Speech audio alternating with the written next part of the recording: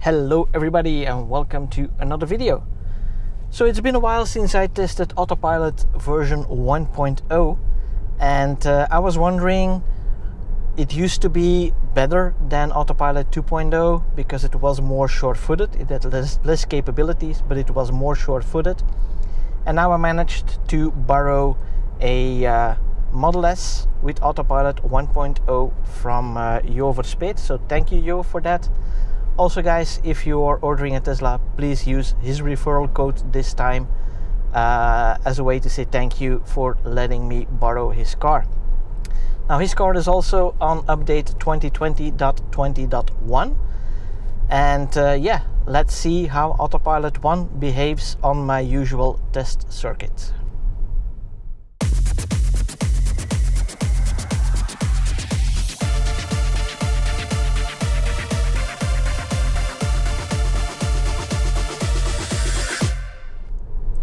Now, as usual, first up we have the Hillcrest. Um, but I'm kind of curious to see what it will do at the top here because I do see the lane lines squiggling a little bit with uh, the curvature of the road. But I'm most interested in actually the bottom part where uh, my car goes a little bit to the left, uh, hunting for the middle of the road. But let's see. Oh, yeah. Okay. Here at the top it was a little bit different but arrow straight at the bottom. Oh, a little bit to the right now. Just a little bit. So a hill means a curvature in the road. So it's looking at a 3D environment and making it a 2D rendering, which an image basically is. And there it still has some problems. I still remember that from my old P85D, but uh, I thought that would have been gone. So I expect the same here at the bottom. Ah, here it's okay here it's okay. But um, yeah so that was uh, still going to the sides based on the curvature the basically the, the, the z-axis of the curvature uh, of the road. Interesting. So last september i believe it was that uh, tesla sent a message to autopilot 1 owners that their car would adhere to the UNECE regulations as well. So it is also limited by the uh, cornering forces. So I'm hoping it will brake before the turn as well. And otherwise, hopefully we can see what it will do. It's not braking. It's not braking. Whoa. Whoa. Okay, it's keeping it back in check. But that would have been a head-on collision if there was a car coming from the other side. This is better yeah, this is keeping more in the center than Autopilot 2, but that first turn, no way. Also here it's more in the center, it's not so much going to the outside of the lane. It is still doing it a little bit, but not as much as Autopilot 2. But my speed is matched, of course, to the person in front of me, so that could be more or less the same. But that first part of the turn, because it's not braking, it goes over that uh, lane marking and into the oncoming traffic basically. So that's definitely not good. So we don't have navigate on autopilot on this car because it's an AP1 car, but I can test how it reacts to that truck in that uh, first lane while I'm in the third lane. And let's see if I want to move over. I need to lock the blinker here in this case. So next to the truck, locking the blinker. It's going it's going. Yep that seems to be a lot better. So that confirms to me a little bit that uh, the side cameras are the ones that are acting up here which is kind of logical. But uh, yeah it, it only has the ultrasonics to work with. So that is definitely uh, an advantage of having AP1 also um, when doing the lane change uh, the advantage of having AP1 is the ultrasonics can only reach about 5 meters so the UNECE regulation has this formula where it cannot do a lane change unless you have a gap of let's say 30 meters at uh, 120 kilometers an hour and that is something that this car cannot do because it doesn't have the cameras. Um, so whenever I want to do a lane change, the gap needs to be only just a fraction of that. It needs to be a lot smaller than uh, with AP1. Uh, sorry, with AP2. So right now I am in an unexpected traffic jam. Uh, I just saw that the road up ahead has been closed off completely.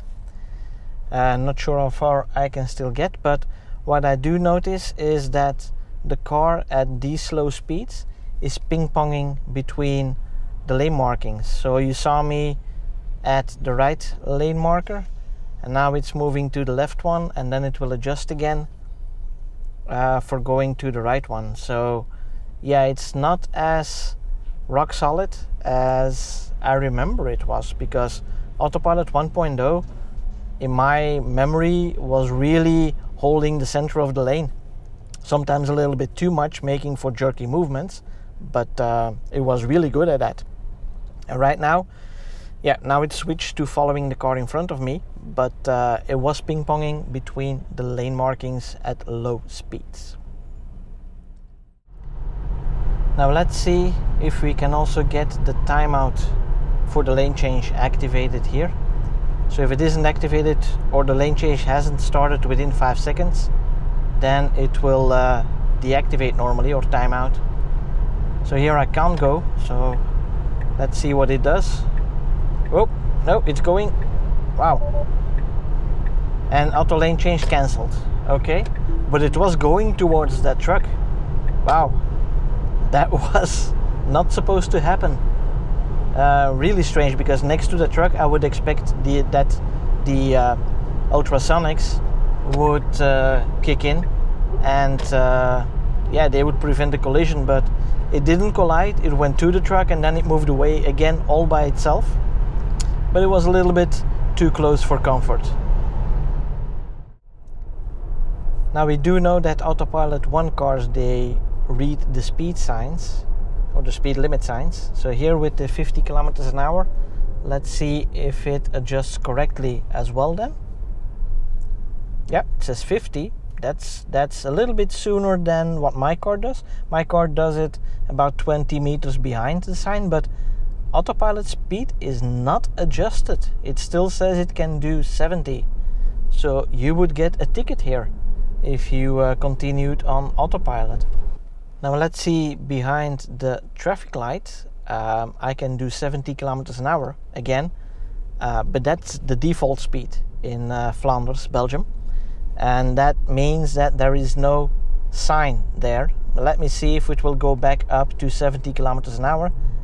No, it is losing lane lines here as well. It's not as good as autopilot 2 in reading the lane lines at that point.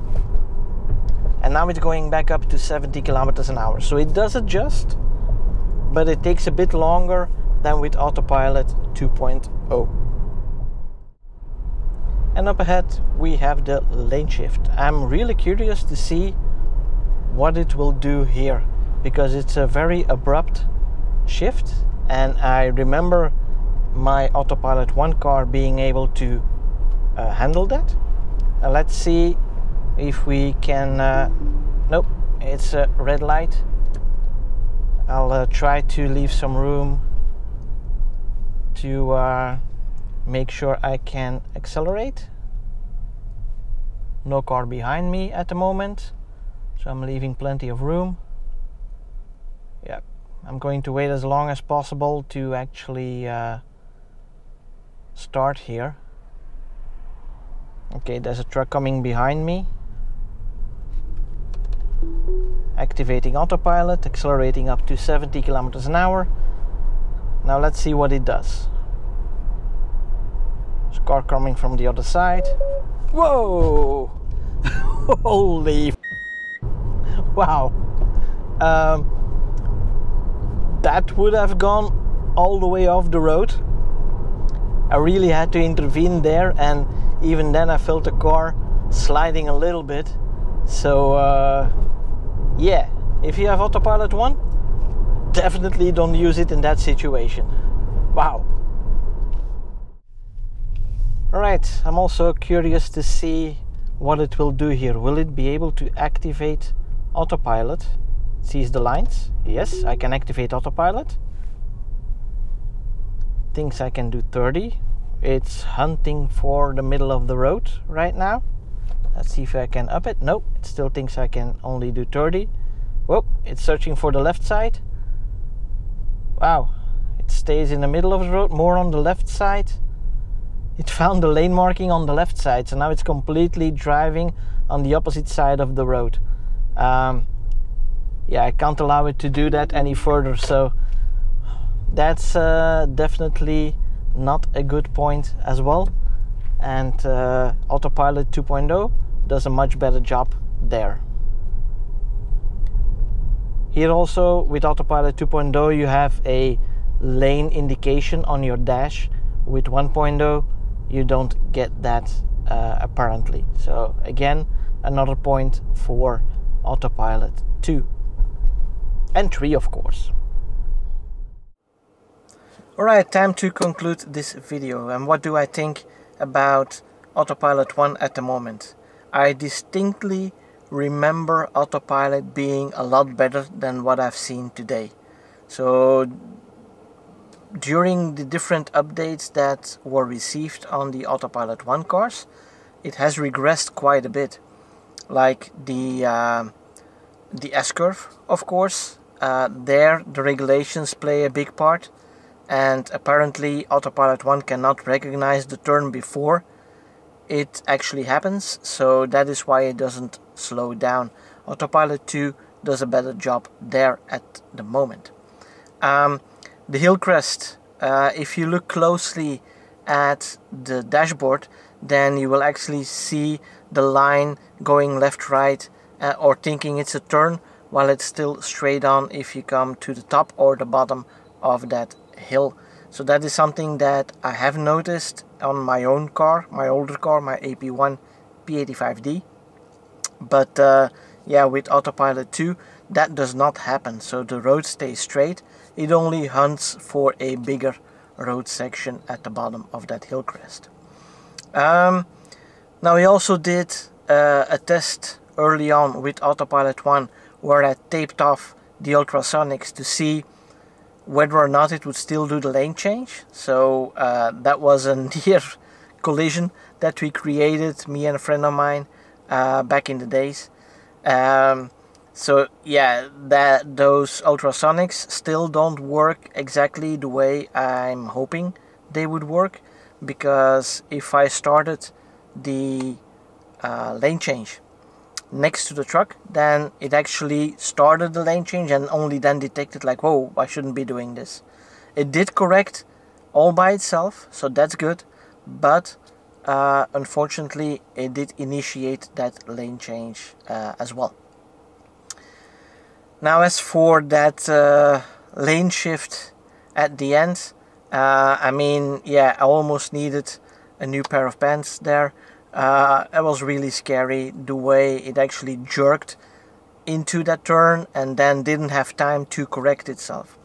I also remember uh, that it actually worked uh, on that lane shift with my old car. So again, that is a big regression I assume also because of those lateral g-forces that are limited, it can't make that turn anymore. So again, more examples of how the UN ECE regulations make autopilot a lot more dangerous than it actually is. The car is a lot more capable than what it is allowed to do.